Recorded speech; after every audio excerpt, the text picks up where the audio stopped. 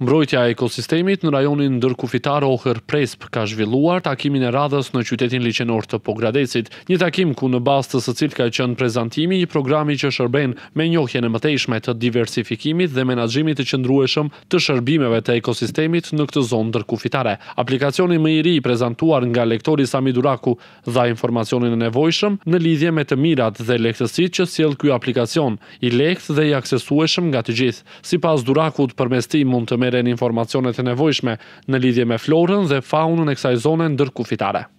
Ka disa template, ka disa harta bazë që domethënë na mundemi me i marrë mi përdorë dhe mi publiku nëpër sistemet e informacionit hapësinor.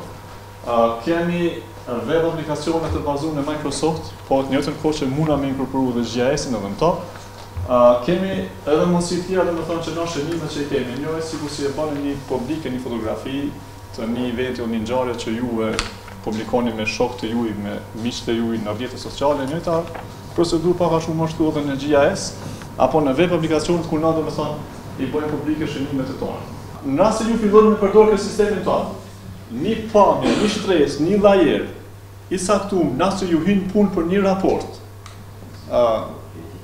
Mundni m'ia bashkangjitë raportit domethonë edhe pa problem domethonë që të filloni me bo. Tash ky njeri domethonë që fillon edhe bon analizën e këtyne të dhanave, e krijon një shtresë, e krijon një lajer, sa ma shumë lajera që kemi domethonë e kompletojmë hartën, a? A e keni qartë se me një lajer nuk do të jetë një hartë. Nga ana tjetër, Teuta Mazari, projektin e financuar nga Bashkimi Europian në kuadër të bashkëpunimit ndërkufitar mes Shqipërisë dhe Maqedonisë së Veriut e quajti të suksesshëm, që po kompletohet më shumë nga platforma hapësinore, që i jep një hov më të rëndësishëm mbrojtjes së ekosistemit. Përgatitja e platformës ka përfunduar dhe trajnimet po shpërndahen për të aftësuar stafet e federatave respektive në mënyrën se si do të përdorin këtë aplikacion. Sot këtu në qytetin e Pogradecit po organizojmë trajnimin me aktorët kryesorë lokalë për prezantimin e platformës hapësinore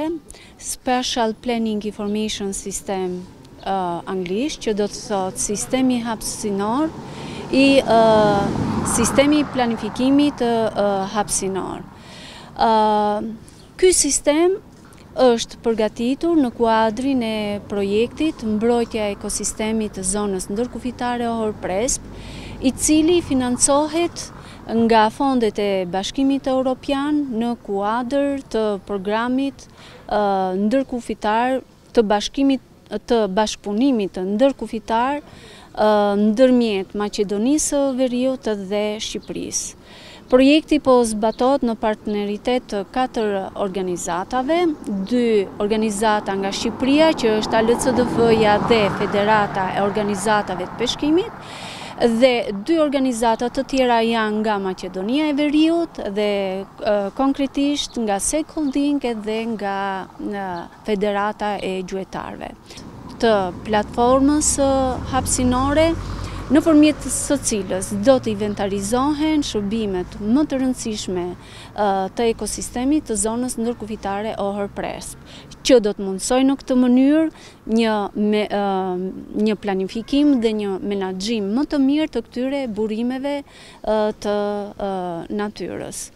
gjithmonë duke i shfrytëzuar ato në dobi të komunitetit të zonës ndërkufitare Ohër-Prespë. Për menaxherin e projektit, përdorimi i këtij aplikacioni do t'i lejojë agjencive dhe bashkive respektive që të favorizojnë edhe zhvillimin e turizmit, pasi ka informacionin e nevojshëm për çdo turist të interesuar, si dhe është një mjet i rëndësishëm për të menaxhuar burimet natyrore. Aspekti tjetër i projektit është ndërgjegjësimi i aktorëve të ndryshëm lokalë, të popullsisë vendese në lidhje me këtë projekt, në lidhje me përfitimin e këtij projekti, i cili do të ndikojë në mënyrë indirekte në përmirësimin e gjendjes sociale-ekonomike të zonës. Një menaxhim i qëndrueshëm, i mirë planifikuar i burimeve natyrore do të sjellë natyrshëm edhe përmirësimin e gjendjes ekonomike, në zonën e zbatimit të projektit. Gjithashtu, bashkitë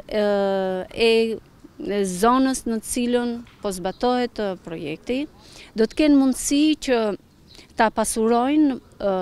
këtë sistem me të dhëna turistike, me qëllim që çdo turist që mund të vijë, në Pogradec, në Ohër dhe në zonat e tjera, të jenë në gjendje të dinë rrjetin e restoranteve, rrjetin e resurseve turistike, të atraksioneve të ndryshme turistike, gjë që jo pak janë në Pogradec, në Ohër edhe në zonat përreth.